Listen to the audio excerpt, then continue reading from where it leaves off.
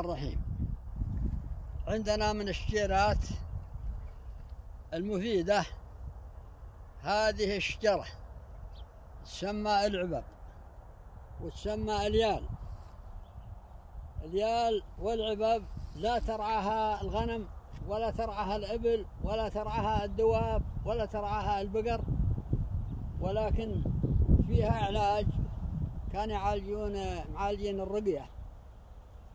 بهذه الشجرة وفيها فائدة ثانية يعالجون بها يخلطونها يدق وتخلط مع الدهن اللي يدهن به الجسم.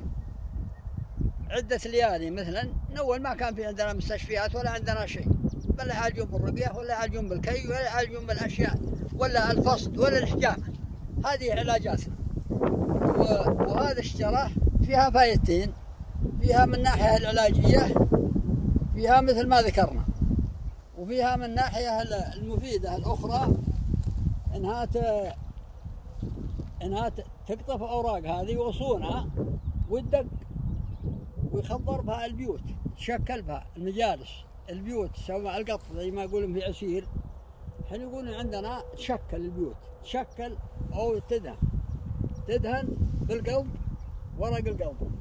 وتدهن بالأليان أو العبب هذا ورق العبب ويلصق على طول. هذه هي ثمرتها.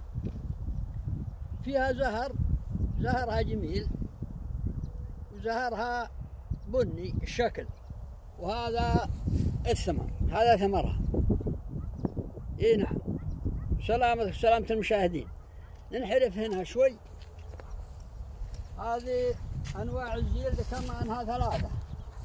ذكرنا منها الزيل العربي. يضرب الرجال. الزيل العربي والزبع والسعدة. هذا هو الزبع. هذا الزيل القوي. ترعاه الإبل وترعاه الغنم. الإبل إبل الرملة. إبل الجبل ما ترعاه. ولا الأصايل ولا الأواني. يرعاه إبل الرملة فقط. ما يرعى غيرها ولا البقر ولا الغنم ولا الدواب.